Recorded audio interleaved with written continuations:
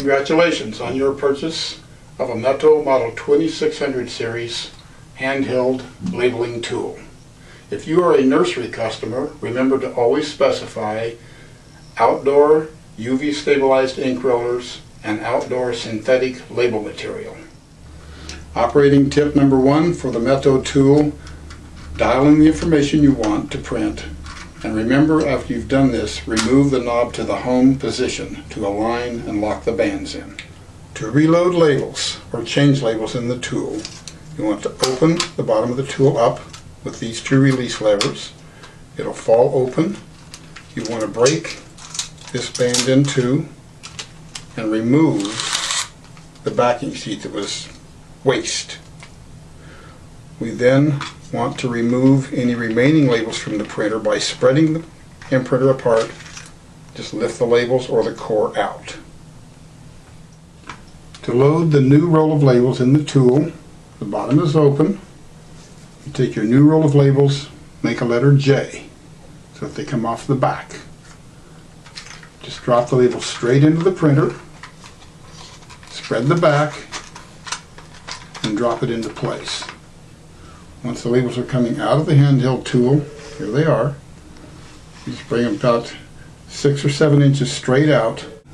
Make sure they're loaded beneath these rollers. These are for applying the label to the material we want to put the label on.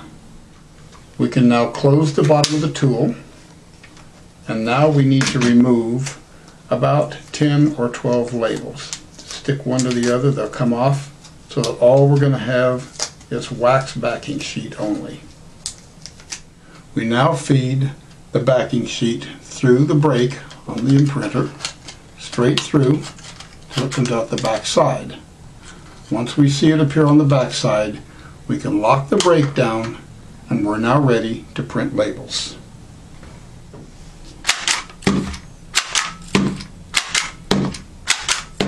After running several rolls of labels, you'll need to change into a fresh ink roller. Be sure and specify a UV stable ink roller when you order. And to change the ink roller, click the tool down as if you were going to print a label. Gently pull the cartridge forward. Release the handle. Remove the label holder, excuse me, the roller holder with the roller enclosed. If you squeeze the cartridge together, you can easily remove the ink roller, the old one, dispose of it, get a new ink roller, be sure it's got one side green, one side black, and the most important thing in loading a new ink roller will be don't depress the foam. You will ruin the micro-encapsulated ink if you do.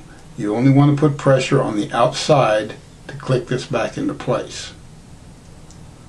Once it's back in place, you can replace the cartridge in the tool and you're ready to print labels again.